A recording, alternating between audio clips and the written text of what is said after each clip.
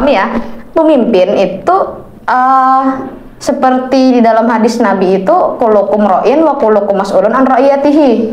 Nah, setiap kamu itu adalah pemimpin dan setiap uh, setiap dari kamu itu akan dimintai pertanggungjawaban atas apa yang dipimpinnya. Nah, artinya kan dari sana sebenarnya semua orang punya potensi gitu untuk jadi pemimpin. Nah, uh, kalau kita mau bicara ini ranahnya agama,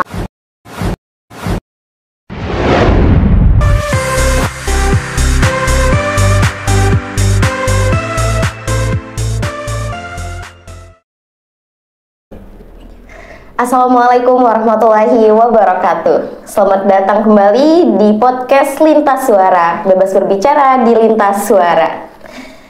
Oke teman-teman semua pada hari ini bersama aku Nana Mariana Yang tentunya tidak sendiri pada hari ini. Dan hari ini kita akan membahas tentang perempuan dalam kepemimpinan dan mengambil keputusan. Yang akan dinarasumberi oleh Kak Arina Mafiro seorang aktivis perempuan ya. Kita sapa dulu. Apa kabar Karina? Alhamdulillah baik. Alhamdulillah. Apa kesibukannya sekarang? Alhamdulillah sekarang kesibukannya uh, masih ngurus skripsi. Uh, mudah-mudahan uh, tolong doa semoga dilancarkan aja gitu. Amin. Tolong doanya juga untuk teman-teman agar skripsi beliau segera selesai ya. Oke, okay. mengenai uh, perempuan dalam kepemimpinan nih kak. Mm -hmm Nah, bagaimana Kak Arina melihat peran perempuan dalam dunia kepemimpinan? Uh, kalau bicara soal peran perempuan di dalam dunia kepemimpinan secara umum ya, uh, untuk perannya sendiri kalau bicara secara global mungkin di uh, selain di lokal kita gitu, uh, ada memang beberapa perempuan yang uh, dikatakan sudah bisa bersaing gitu kan dengan apa dengan kawan-kawan laki-laki gitu. Nah, namun jumlahnya memang hanya segelintir gitu. Itu kalau bicara kita bicara ranah untuk eh, sama-sama uh, jadi pemimpin gitu kan. Nah, tapi untuk uh, secara apa ya?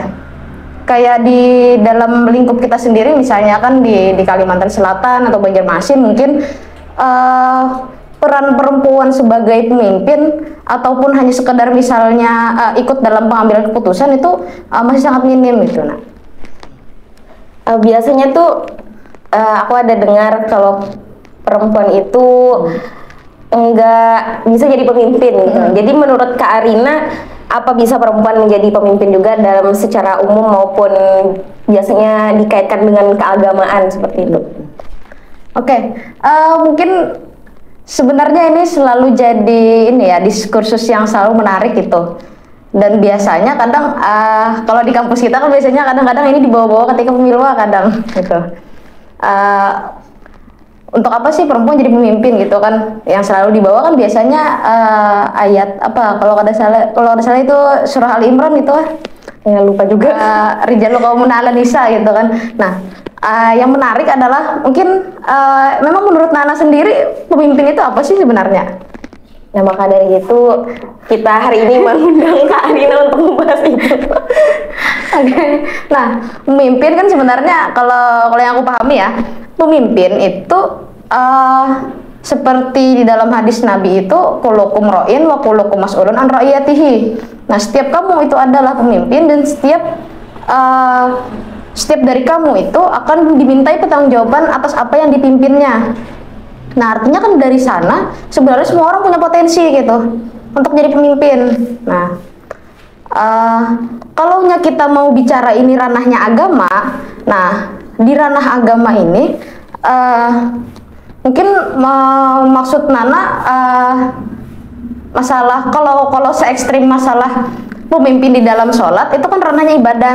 Nah ibadah itu sesuatu yang sudah tidak bisa diutak-atik gitu, sudah sudah ketentuannya memang dari sananya seperti itu.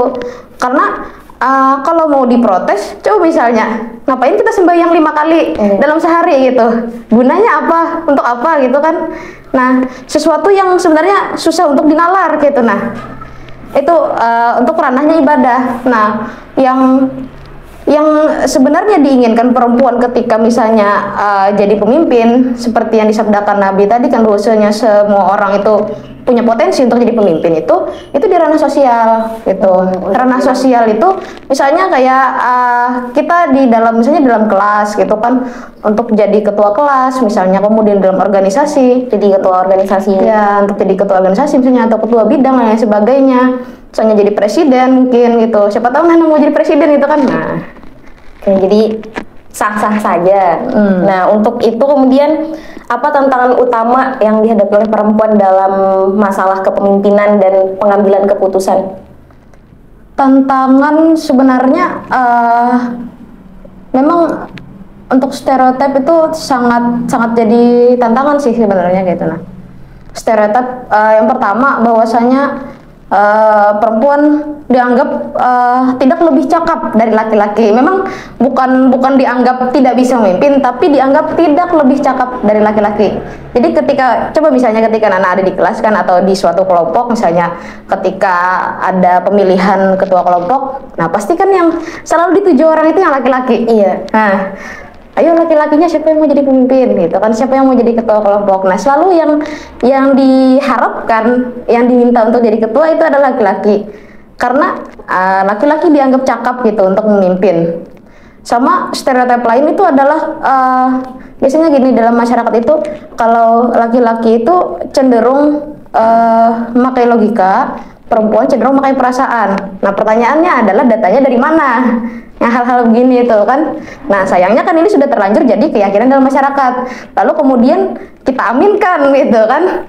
Kita merasa, "Oh iya, aku nih kayaknya lebih pakai perasaan, Bang. Udah cocok jadi pemimpin." Jadi Nah, tersugesti. Nah, sudah jadi sugesti gitu kan. Akhirnya sugesti itu menjadi keyakinan, lalu akhirnya jadi kebiasaan. jadi gitu. tertanam. Nah, eh, keyakinan yang tertanam itu juga akhirnya eh, sebenarnya dimulainya juga dari kita kecil gitu, dari dari bagaimana kita dibesarkan gitu. Nah, sebenarnya kan kalau kita bicara bagaimana eh, anak-anak atau manusia dibesarkan, eh mungkin laki-laki sama perempuan itu eh, di beberapa tempat itu cara mendidiknya itu kadang berbeda. Karena punya saudara laki-laki? Tidak. Ada. Nah, eh, saya pribadi itu punya punya kakak laki-laki gitu kan. Nah, dan saya perempuan. Jadi eh, ketika eh, karena kami usianya hanya beda satu tahun, jadi saya cenderung melihat gitu. Sebenarnya memang tidak terlalu beda jauh pendidikannya. Namun eh, mindset yang ditanamkan orang tua sejak kecil itu ternyata ada perbedaan antara laki-laki dan perempuan gitu.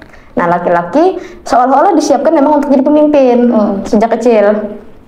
Eh, kamu harus bisa eh, ini untuk yang muslim ya misalnya kan kamu harus bisa eh, baca Quran, kamu harus bisa eh, sholat. Soalnya nanti kalau nya sudah berumah tangga, kamu yang akan mimpin sholat Iya. dalam rumah. Hmm. Nah, gitu kan kalau laki-laki gitu. Nah, kalau nya perempuan, kamu harus bisa masak. Nah, kamu harus bisa beres rumah. Karena nanti kamu yang akan mengurusi rumah tangga. Itu kan. Nah, selalu itu kan mindset yang ditanamkan ke kita. Akhirnya itu yang apa menjadi jadi keyakinan gitu. Mm-mm. Makanya kemudian eh, ketika pun misalnya perempuan diberi ruang untuk misalnya memimpin atau diberi ruang untuk eh, diminta pendapat misalnya kan dalam pengambilan keputusan mereka selalu merasa minder. Iya. Nah, ah nanti kan itu ada aja yang laki-laki gitu kan. Nah selalu gitu gitu. Ya, padahal sama aja. Ah. Rasional juga ada pemikiran rasionalnya, tidak hanya perasaan ya untuk Iya. perempuan tadi. Oke, berarti eh, untuk hal itu menurut Kak Arina tadi bisa aja perempuan untuk jadi pemimpin juga dia bisa berpikir secara rasional tidak hanya menggunakan perasaannya. Nah, eh, untuk itu apa yang membuat eh, perempuan itu mengapa penting juga gitu untuk bisa menjadi pemimpin dan mengambil keputusan itu. Kenapa? Ah oke. Pertanyaannya Seberapa kenapa? penting Hmm. perempuan sebagai pemimpin dan mengambil keputusan? Seba kalau nah sebenarnya uh, apa yang ditanyakan Nana kalau kalau bagi saya itu adalah uh, dua hal yang uh, jawabannya agak berbeda gitu. Nah kalau perempuan sebagai pemimpin uh, seberapa penting sebenarnya kalau bicara seberapa penting ya hampir sama pentingnya gitu seperti sebagaimana laki-laki jadi pemimpin gitu. Karena kan sama-sama manusia sama-sama punya potensi gitu. Hmm. yang dinilai uh, yang yang perlu dilihat apakah dia penting untuk jadi pemimpin atau tidak itu bukan apakah dia laki-laki atau perempuan tapi sebagai uh, seberapa tinggi kualitasnya gitu untuk memimpin untuk mengayomi anggotanya nah itu sebenarnya harus dilihat gitu jadi kan uh, percuma gitu kalau kita misalnya punya pemimpin entah laki-laki atau perempuan kalau ternyata kualitasnya tidak ada itu kan Jadi kualitasnya itu Nah. yang penting. itu sebenarnya kualitas kemampuan itu sebenarnya yang paling penting. Nah lalu kemudian untuk dalam hal pengambilan keputusan, nah yang namanya pengambilan keputusan itu kan keputusan itu kalau di eh, di negara kita sendiri kan diambil itu dengan cara musyawarah gitu kan lo Eh, masing-masing eh, semua golongan semua orang itu punya suara gitu untuk menyatakan apa yang ia inginkan apa yang tidak ia inginkan gitu. Dia maunya seperti apa dia tidak maunya seperti apa. Nah eh, nah di sini pentingnya peran perempuan karena perempuan pun adalah warga negara kan? Nah kalau eh, yang yang terlibat dalam pengambilan keputusan hanya adalah kaum laki-laki misalnya eh, terkadang gitu kan ada hal-hal eh, yang luput gitu. Dari dari keputusan tersebut. Misalnya eh, keputusan yang diambil kadang eh, tidak memperhatikan situasi dan kondisi perempuan gitu kan di di suatu tempat itu misalnya. Atau eh, apa kadang-kadang tidak sesuai gitu kan. Padahal kan eh, yang namanya pengambilan keputusan itu adalah bagaimana mengambil jalan tengah supaya eh, tidak ada yang lebih nyaman tidak ada yang lebih sakit kan gitu. Nah gini tuh Oke, nah tadi eh, di awal-awal ada menyinggung tentang masih minim juga untuk Ah. perempuan di wilayah Kalsel ya Ah. khususnya. Nah, kira-kira menurut Kak Arina, Kak Arina nih apa langkah-langkah konkret yang dapat diambil untuk mendorong lebih banyak perempuan terlibat dalam proses pengambilan keputusan? Hmm. Kalau untuk mendorong itu ya, eh, karena namanya kita sudah eh, kayak sudah mulai apa ya, eh, keterpinggiran perempuan itu kan sudah jadi budaya gitu, sudah jadi kebiasaan di masyarakat kita bahwa eh, perempuan biasanya jarang dilibatkan dalam pengambilan keputusan, jarang dilibatkan dalam misalnya musyawarah atau apa pun. Karena eh, nah sebenarnya pun kenapa jadi perempuan biasanya jarang dilibatkan? Misalnya eh, di dalam musyawarah masyarakat atau seperti eh, apa dalam ranah sosial yang lain karena dianggap perempuan eh, biasanya ranahnya itu adalah di ranah domestik gitu. Nah di ranah domestik sehingga sesuatu yang terjadi di luar rumah itu dianggap tidak berpengaruh terhadap perempuan gitu. Sehingga kadang-kadang orang berpikir ngapain eh, minta pendapat dari perempuan gitu kan untuk hal-hal yang ranah ranahnya sosial gitu. Toh kan nggak berpengaruh juga ke mereka. Nah sebenarnya kan gitu biasanya. Nah, eh, jadi kalau bicara apa yang bisa mendorong eh, supaya perempuan itu bisa maksimal terlibat dalam pengambilan keputusan, eh, langkah awal seperti misalnya eh, apa keterwakilan perempuan dalam DPR, nah itu sudah bisa jadi langkah awal yang bagus. Nah, cuman jangan sampai hanya berhenti di sana gitu. Makanya kan ada eh, ada yang namanya pengaruh utamaan gender gitu. Bagaimana kita eh, ketika menerapkan suatu aturan atau misalnya apa ingin melaksanakan suatu itu eh, melihat dari seberapa banyak anggota laki-laki, seberapa banyak anggota perempuan gitu. Jadi eh, masalah mengenai berapa laki-lakinya, berapa perempuannya itu itu jadi jadi patokan gitu. Misalnya dalam pengambilan keputusan dan lain sebagainya supaya eh, bahasanya semuanya sama-sama nyaman gitu. Nah kemudian eh, selain membuka peluang itu tadi, membuka peluang misalnya perempuan untuk eh, mengajukan pendapat, untuk jadi pemimpin. Nah, yang perlu dilakukan selanjutnya itu adalah eh, memperkuat ini eh, pendidikannya. Jadi eh, perempuan itu tuh eh, selain diberi ruang perlu dibekali kan gitu. Nah coba misalnya eh, sekarang Nana suruh misalnya jadi ketua Dema mau lah Bisa? apa visi misinya? masih dipikirkan. Nah, masih dipikirkan. nah, jadi kan uh, hal-hal seperti itu memang perlu ini perlu perlu dipersiapkan gitu. Jadi kalau misalnya orang uh, orang bilang lo perempuan sudah kami kasih kasih ruang, hanya ruang saja itu tidak cukup Jadi gitu. perlu pembekalan tadi. Ah, perlu pembekalan. Nah, pembekalan di sini bukan berarti uh, karena perempuan itu apa tidak tidak punya kompetensi sama sekali, tapi karena saking lamanya ia tidak uh, tidak dikenalkan dengan apa yang namanya kepemimpinan, apa yang namanya mengambil keputusan sendiri, nah maka itu harus diajarkan gitu. Nah, uh, mungkin kadang saya uh, ada satu dua gitu kan dengar dari kawan-kawan dia memang ketika kecil tidak terbiasa uh, mengambil keputusan sendiri gitu. Uh, dia sejak kecil terbiasa untuk uh, nurut gitu. Ketika misalnya di diperintahkan atau diminta melakukan sesuatu tanpa banyak bertanya itu kan. Nah sehingga uh, kemampuan untuk memberikan pendapat atau untuk hanya sekedar bertanya itu uh, tidak tidak dia punya gitu. Nah makanya itu perlu perlu dilatih nah itu sebenarnya Jadi perlu ditanamkan sejak kecil juga. Ya, jadi sebenarnya pendidikan yang baik itu penting.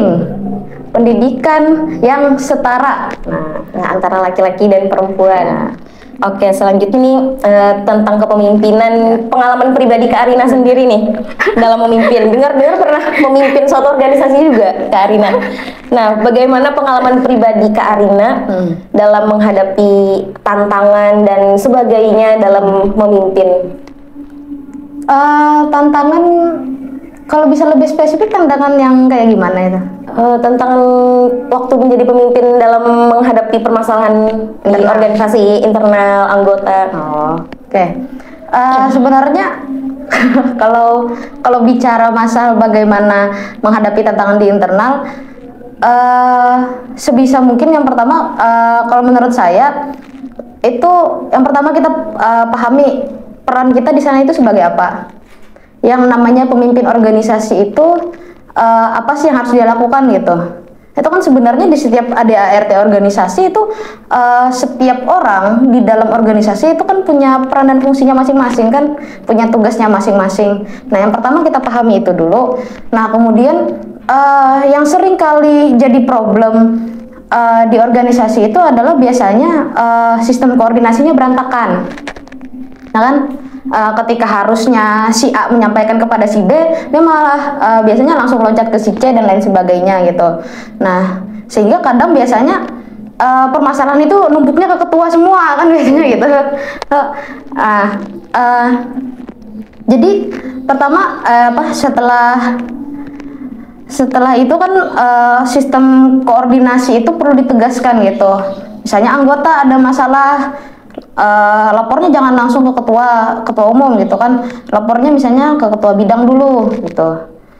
Kemudian diselesaikan di bidangnya, kalau tidak selesai baru naik ke ketua gitu. Nah, eh, kemudian Nah ini eh, yang yang paling sering saya lakukan dulu gitu sebenarnya kan Eh, ketika eh, apa sebisa mungkin ketika ada permasalahan internal eh, saya coba eh, minta orang lain dulu untuk menyelesaikan gitu. Nah eh, atau misalnya eh, ketika ada masalah di suatu bidang saya minta ketua bidangnya dulu untuk menyelesaikan. Jadi saya kasih saran-saran begini-begini, tolong diselesaikan dulu. Kalau tidak bisa baru nanti kita selesaikan sama-sama. Nah, kalau ketika ada masalah langsung kita yang terjun kan eh, akhirnya terlalu banyak yang dipikirkan gitu. Nah, mungkin itu. Oke, kalau karena Kak Arina kan eh, perempuan ya, Ya. waktu jadi pemimpin tuh adakah rasa minder atau rasa tidak pantas atau rasa apa gitu? Kalau perasaan-perasaan minder, alhamdulillah tidak ada gitu. Lancar, lancar saja lah. Alhamdulillah lancar gitu kan. Alhamdulillah. Ah, sebenarnya dulu waktu itu ah, ketika jadi ketua itu kan ah, saya sempat ini dapat dapat saran gitu kan. Ah, sebaiknya gitu di dalam kan ah, di organisasi itu kepengurusan intinya ada tiga orang gitu. Nah, sebenarnya disarankan oleh oleh salah seorang senior gitu kalau bisa misalnya uh, sekretarisnya itu laki-laki gitu nah karena dia bilang uh, soalnya biar di di kepengurusan inti itu ada yang uh, pikirnya lebih rasional gitu. Nah, nah karena apa ya lah? Karena saya rasa uh, statement itu tidak berdasar gitu kan. Nah, akhirnya semua pengurus inti itu saya pilihnya perempuan semua. Ya kan bertiga itu perempuan semua gitu akhirnya. Itu waktu memimpin di mana?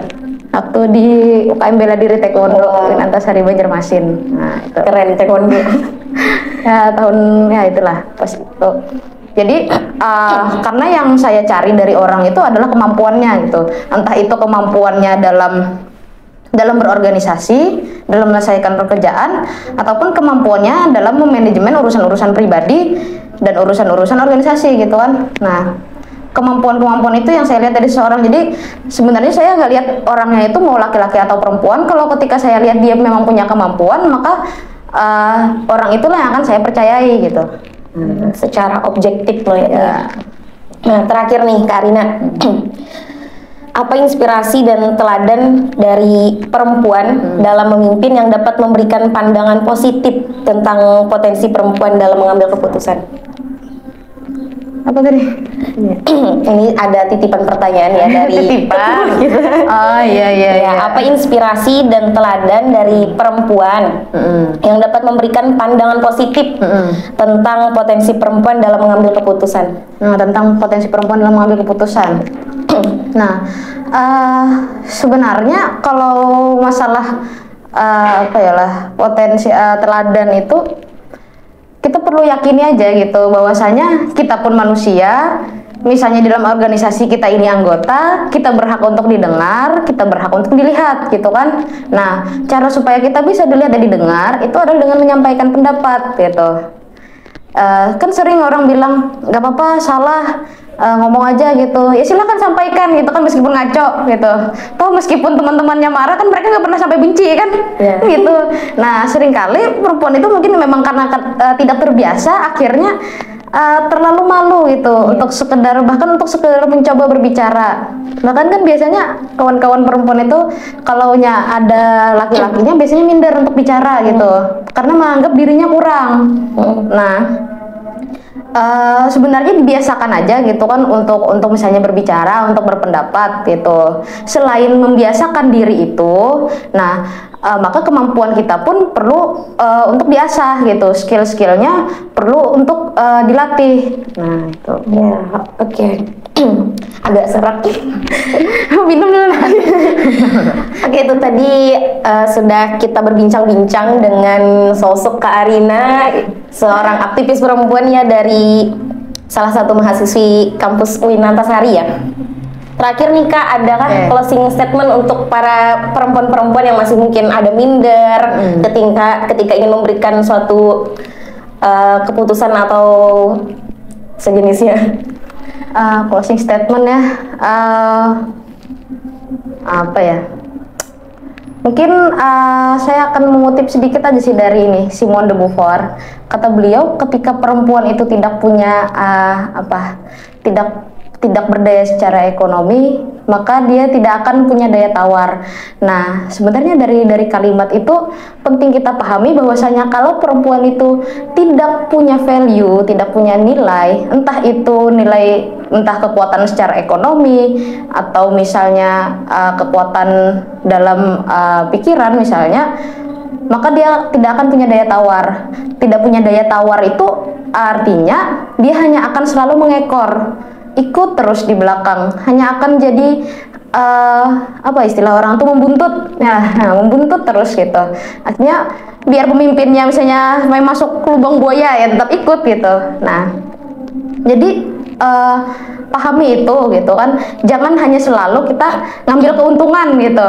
Oh eh, di tengah dunia ini kan aku enak gitu dimanja dan lain sebagainya kalau misalnya jalan-jalan apa aku selalu ditraktir aku nggak dibolehin angkat yang berat-berat nah itu kan menurut anda nah realitanya adalah anda dianggap lemah Ya. nah gitu mungkin itu aja sih. Oke, terima kasih Karina atas Oke. waktunya dan eh, segala jawabannya tadi serta closing statementnya dan untuk teman-teman semuanya khususnya para perempuan jangan takut untuk memberikan keputusan, untuk berpendapat dan menjadi pemimpin.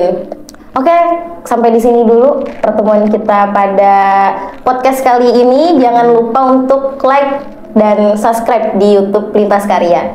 Oke, sampai jumpa di podcast berikutnya. Salah mohon maaf. Wassalamualaikum warahmatullahi wabarakatuh. Waalaikumsalam warahmatullahi wabarakatuh.